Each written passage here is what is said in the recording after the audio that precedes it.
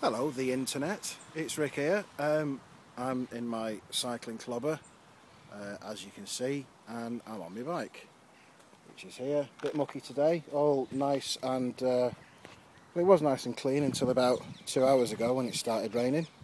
But um, I'm in Richmond Park, one of my favourite places in London, and uh, that's the view over Richmond towards Heathrow. Oh look, there's a plane just taking off in the distance. Um, just by the um, Richmond Gate, which is uh, probably about half a mile down to my left there. Um, it's just a quick one today because what I'm doing is a training ride for the London to Brighton bike ride.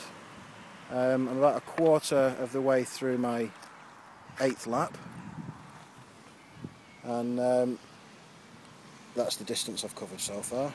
50.91 miles. And uh, I'm feeling it as well. Uh, three just over three and a half hours.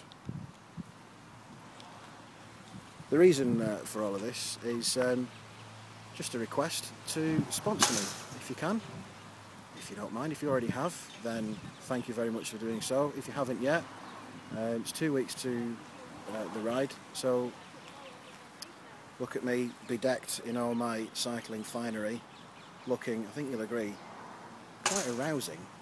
Um, doing it for you.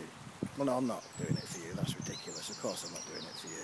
Uh, I'm doing it for the British Heart Foundation. So you'll be helping them a great deal, and uh, all of the aching that I'm doing at the moment will all have been worthwhile. So um, there we go.